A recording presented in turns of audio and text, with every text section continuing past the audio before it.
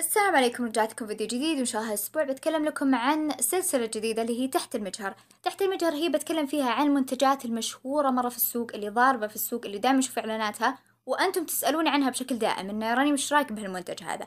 وش الشيء الزين فيه وشلون وش وش وضعه؟ فحبيت إني يمكن أحط لكم فوكس على منتج معين وأتكلم لكم عنه. فاليوم إن شاء الله بتكلم عن آه، منتج اللي هو آه، غسول الجريب فروت من Neutrogena اللي تكلمت عنه الأسبوع اللي فات في سلسلة الاستعداد لتجهيز أو تجهيز الحضور آه، مناسبة مهمة. فخلينا نشوف.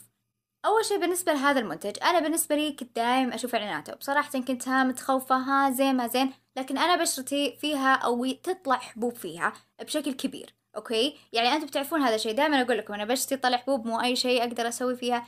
فكنت خايفة مرة إني أستخدمه لكن قلت يلا Neutrogena معروفة وهم يعني متميزين باللي هو الأشياء اللي تنظف البشرة من الحبوب أو ماخذين هذا الاتجاه. فقلت خليني أجربه بما أنه موجه للبنات بشرتهم عادية لكنها تطلع حبوب. ليش؟ لأن عندهم هم نوع ثاني للبنات اللي بشرتهم جدا دهنية اللي هو لونه أصفر. فقلت لا خليني أخذ هذا اللي هو ال pink بالجريب فروت اللي يميز هذا الغسول أكثر شيء إنه أول شيء فيه فيتامين سي فهذا الشيء راح يعطيك نضارة مع الاستخدام لأنه معروف الفيتامين سي لو أنت تجيبين لك عصير ليمون أو شيء تخلطينه مع كريماتك راح تلاحظين إنه يعطي النضارة أكثر. وهذا شيء معروف من زمان. الشيء الثاني إنه فعلا فعلا لقيت شيء ينظف الحبوب للبنات اللي بشرتهم عادية لأن غالبية الأشخاص إذا يبون شيء يشيل الحبوب يكون موجه للبشرة الدهنية جدا فيعني تحسين بشرتك مرة جافة جفاف مو طبيعي. لكن هذا لا. هذا يعطيك اللي هو التنظيف الممتاز يعالج الحبوب إذا كانت بشرتك عادية.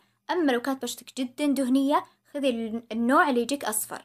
أوكي؟ هذا لا. هذا بشرة عادية لكن تطلع حبوب مثلا من stress أنا عندي stress كثير وضغوطات كثير فأضطر إني أستخدمه لأن أنا من النوع إذا صار عندي ضغط كثير تطلع حبوب. بالإضافة إلى مشاكل ثانية تطلع لي حبوب أستخدمه مرتين في اليوم ينظف بشكل حلو يعالج لي الحبوب أو يحافظ ما راح أقولك إنه يعني ما طلع ولا حبة لكن أكيد إنه هو مرة مرة يساعد في هذا الموضوع. أتمنى يكون الفيديو عجبكم. أتمنى تكونوا استفدتوا. إذا حبيتوا هذا الفيديو لا تنسون like favorite share subscribe وإذا فعلا آه يمكن حابين تدعموني لا تنسون تنشرونه في الواتساب أو يمكن تشاركون في أحد قاعد يسألكم عن هذا المنتج.